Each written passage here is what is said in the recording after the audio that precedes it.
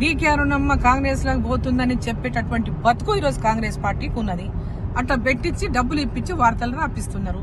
DK Arunamma విలువలు కలిగినటువంటి రాజకీయాలు చేసేటటువంటి వ్యక్తిత్వంలో ఉన్న నాయకురాలు.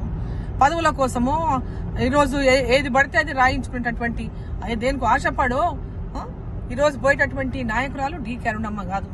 అహర్నిశలు ప్రజల కోసం ప్రజల అభివృద్ధి కోసం ఆరాటపడి పనిచేసేటటువంటి నాయకురాలు.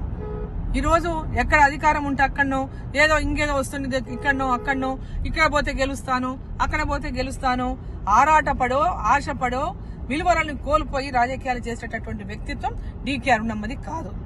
కాంగ్రెస్ పార్టీకి లబ్ధి చేయాలనేటటువంటి మీ దురాలోచన ఏమైనా ఉంటే మీరు కాంగ్రెస్ పార్టీకి లబ్ధి చేసుకోండి. అంతేగాని ఒకరి ఇమేజ్ని దెబ్బతీయడానికి ఎంతో కష్టపడి సంపాదించుకున్నటువంటి మా యొక్క రాజకీయ విలువలను ఈరోజు ఆ విలువలను డ్యామేజ్ చేసినటువంటి అధికారం ఎవరికీ లేదని చెప్పి నేను హెచ్చరిస్తా ఉన్నా. ఈరోజు రాసే ముందు అడగాల్సినటువంటి బాధ్యత రాసేవాడికి ఉంటుంది. వేసేటటువంటి పత్రికకు ఉంటుంది. ఏదో చిన్న వ్యక్తుల గురించి రాసినట్టు.